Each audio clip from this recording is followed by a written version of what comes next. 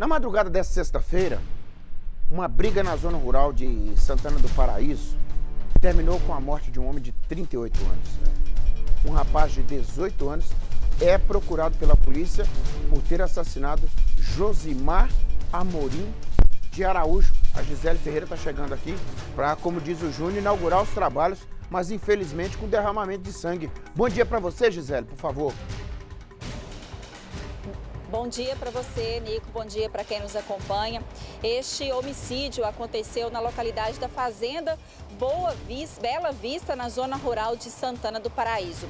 Por volta de duas horas da madrugada desta sexta-feira, um homem foi até a polícia para dizer que havia acontecido um crime no local. Quando a polícia chegou, encontrou é, o Josimar Amorim de Araújo, de 38 anos, já caído com ferimentos provocados por faca. Havia três perfurações no corpo da vítima. Porém, quando a vítima estava sendo socorrida para um hospital daqui de Patinga, o Josimar não resistiu e acabou morrendo.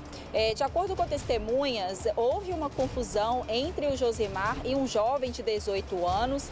Eles haviam discutido. O Josimar teria se apossado de um facão e este jovem, na tentativa de se defender, armou-se de uma faca e desferiu golpes no Josimar, que não resistiu e morreu. O, o, o rapaz de, de 18 anos, após é, este crime, ele fugiu, porém ele fugiu na moto do Josimar. E de acordo com testemunhas que relataram à polícia, foi o seguinte, que o Josimar e este jovem de 18 anos, que inclusive continua sendo procurado pela polícia, eles já haviam, é, tinham tido uma discussão antiga porque este jovem ele teria se envolvido no furto de uma motocicleta do Josimar alguns dias atrás. Então, é, já teria aí uma discussão, um problema entre os dois, que inclusive são vizinhos.